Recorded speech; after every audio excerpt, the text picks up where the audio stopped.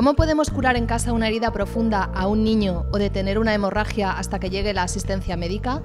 El doctor Juan Jesús Hernández, responsable del Plan de Salud del Departamento de Salud y Socorros de Cruz Roja, nos explica cómo hacerlo. Lo más importante que tenemos que tener en cuenta es mm,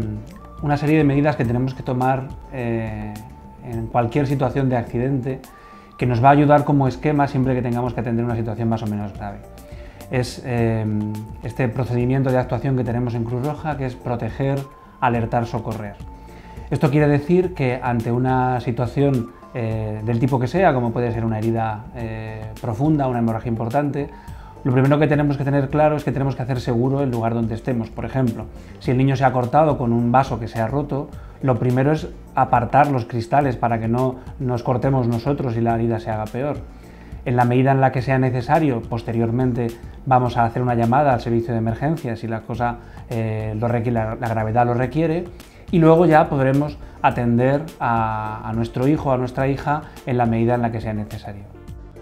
Hay que tener en cuenta que eh, las hemorragias pueden ser una situación eh, que pueda poner en peligro la vida de la persona y que eh, nosotros vamos a tener o vamos a poder realizar unos pasos muy simples para intentar controlarlas, pero tenemos que tener en cuenta que en la medida en la que no seamos capaces de controlarlas, siempre hay que hacer la llamada de emergencia o derivar a un centro hospitalario. ¿Cuáles son esas,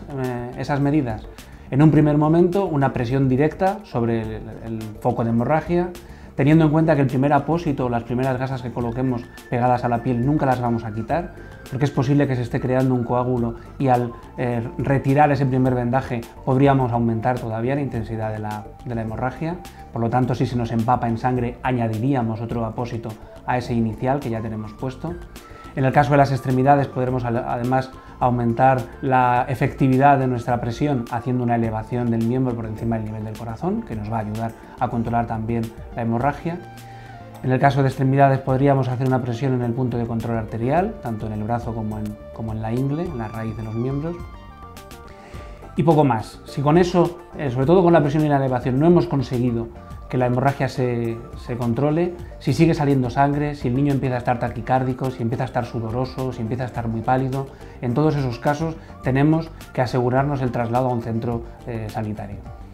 De la misma manera, una herida que se sale de lo normal, que no es la herida habitual que podemos limpiar en casa, siempre la recomendación es que sea valorada por un equipo sanitario, que sea eh, limpiada también y curada por, un, por el personal de enfermería con lo cual, todo aquello que el sentido común nos diga que se sale de lo normal, siempre la idea eh, más acertada es que la traslademos para que la pueda ver el equipo del centro de salud.